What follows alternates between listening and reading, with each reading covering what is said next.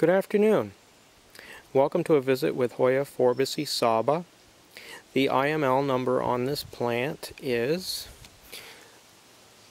1763. It was acquired from the Little Nursery in Australia. Bloomed for the first time at about six months of age. It's uh, quite a um, nice Hoya. It's different than the usual run-of-the-mill. It has an unusually shaped leaf with uh, purple coloration on the leaf back. I don't know how well this will show up, but it's quite a lovely color when seen in the right light. Um, deep purple, speckly leaves, a little bit like uh, the back of an eggplant leaf. Also similar to the texture of Hoya lambii on the back of the leaf. Um, the bloom, not um, spectacular, but it's greenish yellow and it's quite pleasing nonetheless. I'll see if I can get it up there so that it shows.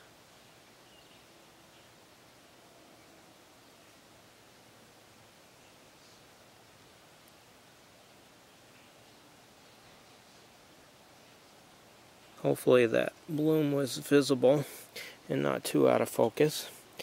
Um, it's a very nice plant uh, that grows extremely well under lights in a grow room. It also grows well and uh, flowers quite readily in the greenhouse. I don't know how this plant will behave in the regular house in a dry winter. I haven't had any experience with trying that yet. Um, I, I can highly recommend this as a plant that you ought to give a try.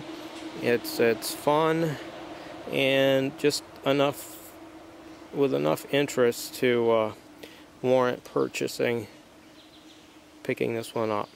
Thank you for visiting with me in Hoya forbesii Sabah.